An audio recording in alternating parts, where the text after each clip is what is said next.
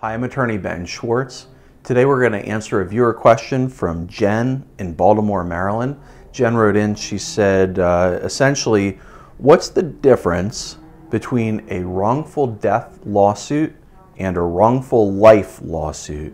And I thought, boy, that's a really good question. That's a really good topic to do a video on. So Jen, thank you for writing in and asking that question.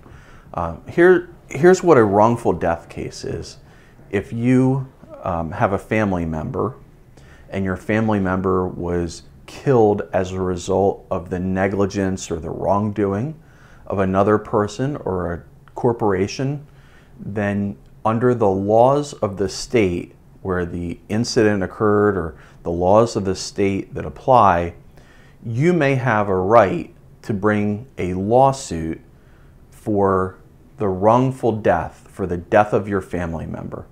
And in that lawsuit, you may be able to collect things like the, the cost of the support that that family member would have provided to you if he or she lived and continued working and continued generating income that would have been used to support you and your lifestyle.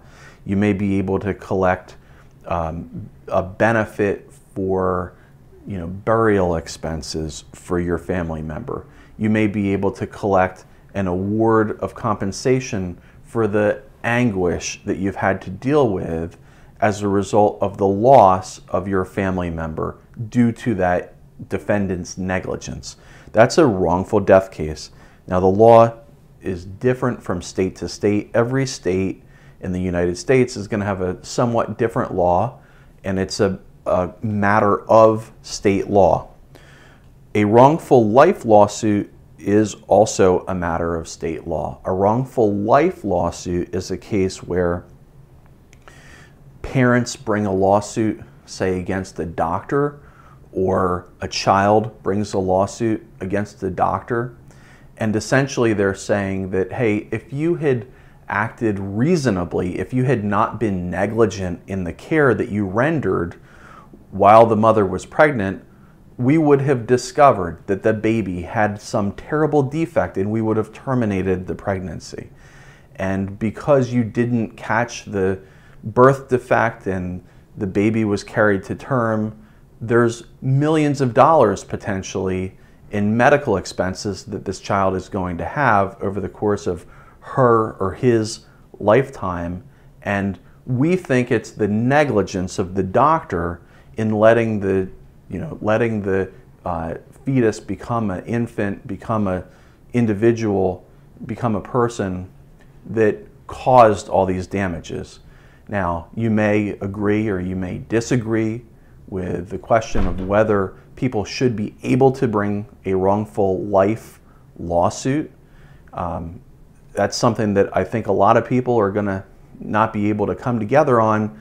And the reason I think that is because many state legislatures can't come together to make a determination whether this is the type of lawsuit that should be allowed to exist.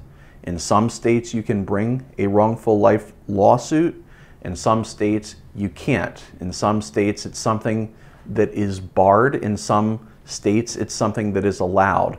And uh, I think it's a, you know, it's one of these types of cases that I've never handled one and I don't think I ever would but um, it's something that I think is interesting to be aware of. If you are a citizen in the United States, you ought to be aware that not only is there such a thing as a wrongful death lawsuit, but in some states there's such a thing as a wrongful life lawsuit. Anyways, Jen in Baltimore, Maryland, I think that's a great question. I hope it answered your question. Um, if you have a question for me, my name is Ben Schwartz.